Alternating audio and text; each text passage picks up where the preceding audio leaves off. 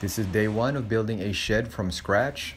Rather than just buying a pre-made shed, I decided to build one myself with the help of my guy, just to see how it feels and experience it. So let's see how it goes.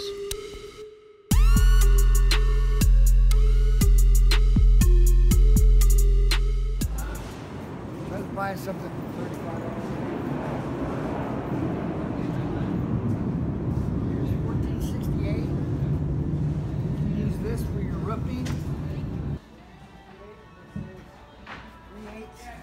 Okay. You look at them like this and like this. That is no good. Why? Look, look, look, look down it. Side it, side it, just like I'm looking at here. You see how it's crooked this way? Mm -hmm. It's crooked this way. Mm -hmm. We don't want that. Down, just like this, both ways. So that's nice and straight. And It's nice straight this way. And, and there's no major gouges or no major shit. That's what we want. Seven.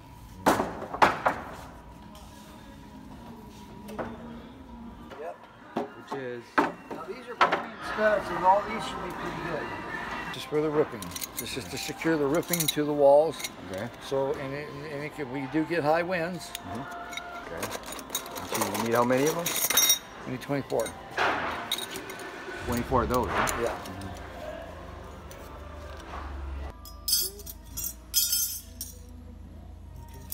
Two feet, seven, seven, 14. Let's get to 16.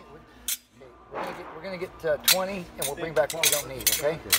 One, two, three, four, five, six, seven, just get a couple boxes of these. Here, these are 627. We can go four of these on each one. Uh-huh. or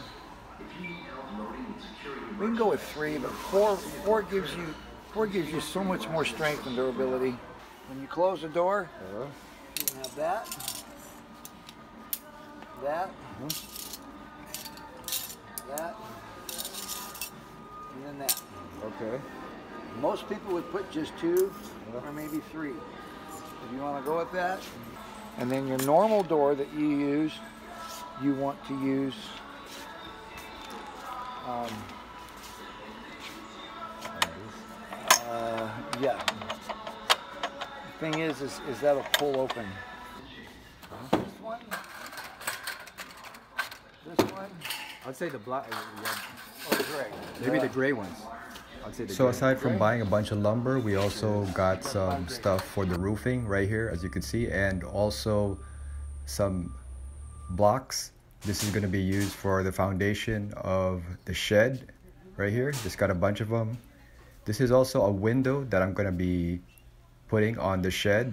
So there's a few things right here. All these carts belong to me, as you can see. All the wood, the plywood, uh, the stuff for the foundation, all these brackets. This is all my stuff. So it's quite a bit, a little bit overwhelming, especially being my first time. So now that we have it all inside the truck, we're ready to go.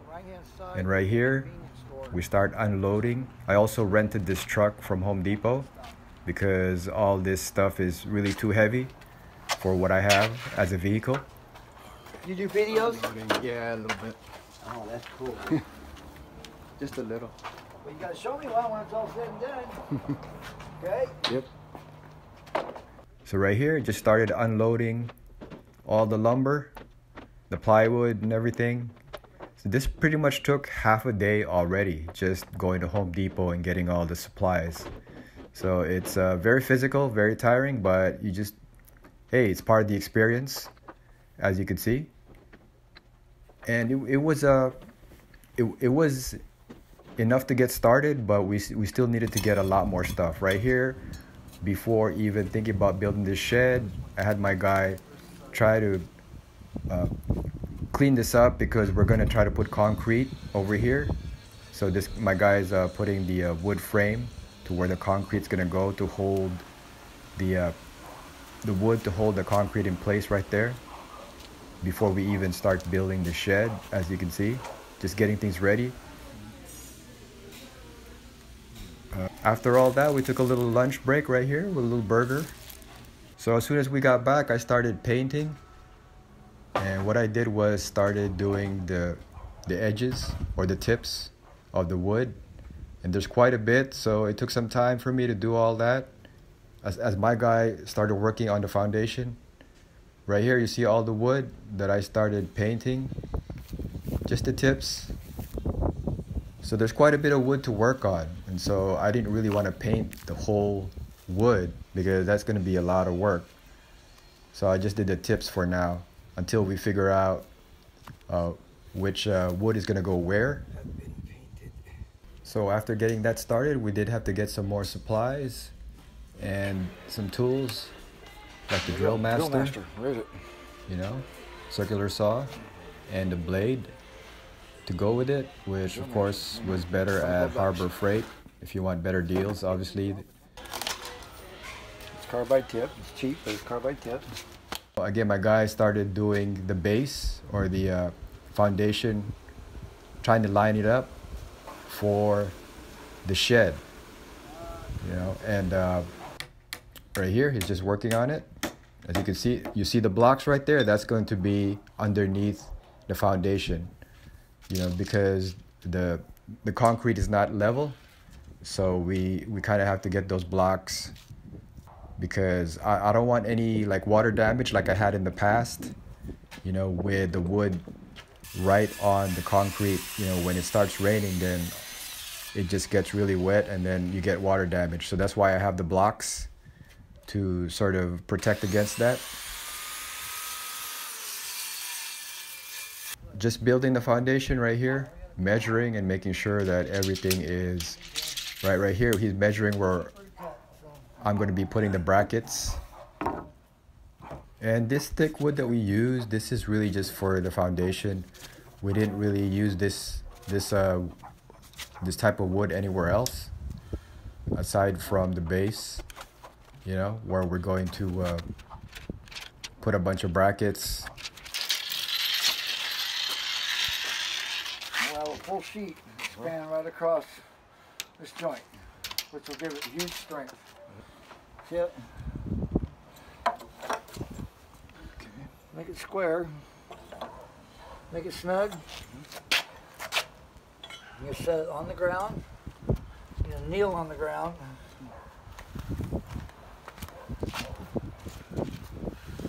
I'm gonna give you a shim to put on. Uh, I'm gonna actually cut you a template. But you're gonna put these, put this right smack in the middle, and you're going to uh, put a nail here and a nail here. But you, yeah, I got to give you a, a piece of wood because what it is, is you want the top of the two by four to be level with this. Slide that underneath it. That's good.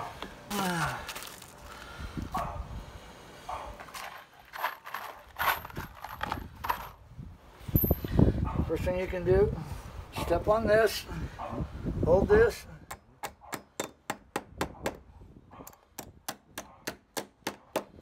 Okay, make sure you're make sure you're good here.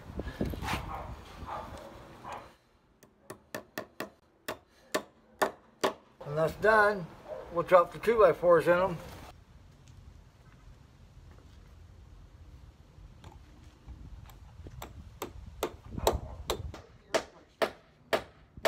Some more stuff for the roofing.